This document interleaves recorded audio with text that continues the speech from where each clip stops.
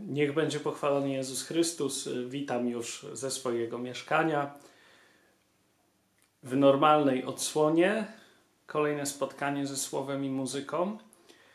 Dziś Kościół nam daje Psalm 138.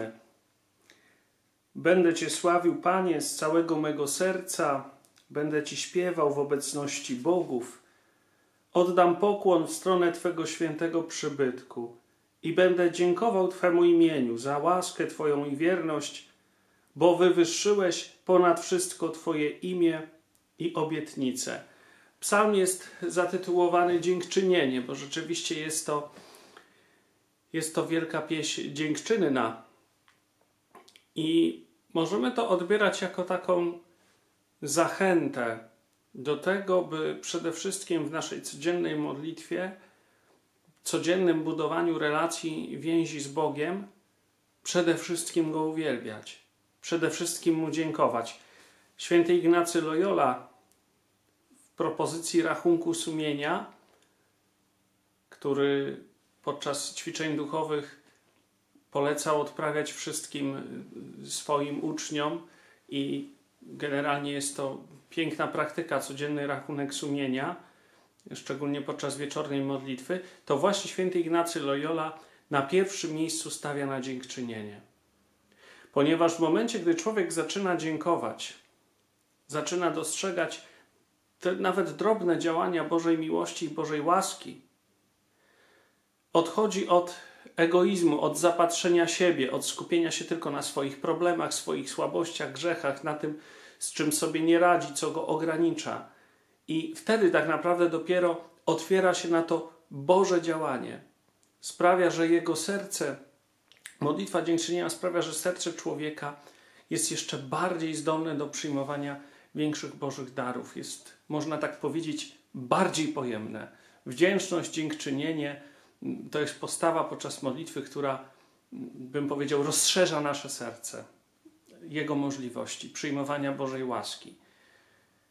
I wiem, że gdy wielu z nas jest pewnie ciężko, gdy borykamy się z różnymi trudnościami życia codziennego, codzienności, to czasami naprawdę te problemy mogą nas przytłoczyć, wręcz sprawiają, że czujemy się przyparci do muru, do, do ściany, ale właśnie w modlitwie dziękczynienia to wydaje się być ten klucz do tego, jak się uwolnić od tego uporczywego myślenia tylko o swoim bólu, o swoich problemach, a przejść do tego, co jest ważniejsze, do mojej osobistej relacji z Bogiem, do Jego, do tej prawdy o Jego obecności w moim życiu, że nawet w tych trudnościach, cierpieniach On jest obecny, On idzie ze mną, On dodaje mi siły.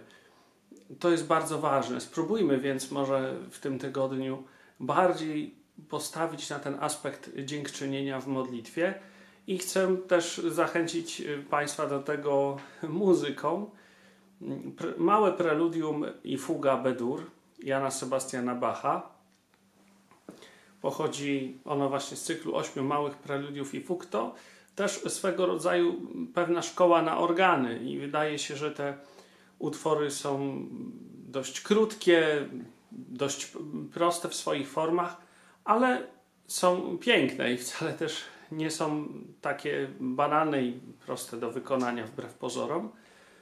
Dziś dzielę się z Państwem ostatnim preludium, preludium w tonacji Bedur, które zamyka tenże cykl, a nagrałem je na bardzo ważnych dla mnie organach Kościoła pod wezwaniem Najświętszej Maryi Panny, Matki Kościoła w Kostrzynie nad Odrą. Był to pierwszy instrument, z którym miałem okazję się zetknąć, pierwsze organy piszczałkowe, na jakich zagrałem i co stało się też takim początkiem, myślę, mojego nawracania się i bycia bardziej dla Boga, bardziej dla Kościoła.